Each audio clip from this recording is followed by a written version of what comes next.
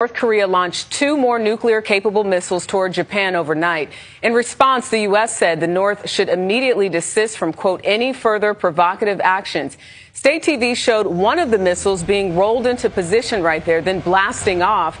Japanese and South Korean officials estimate the missiles flew about a halfway mark to Japan before falling into the sea. Meanwhile, the powerful sister of North Korean dictator Kim Jong un warned the U.S., South Korea, and Japan to end a series of military drills in the area.